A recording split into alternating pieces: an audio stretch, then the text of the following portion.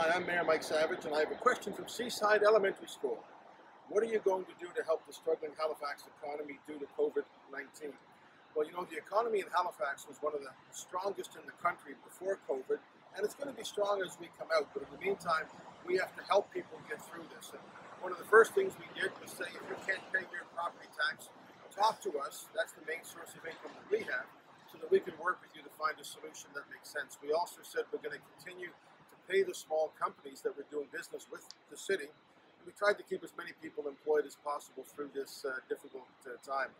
The provincial government's done a very good job of managing COVID from a health point of view.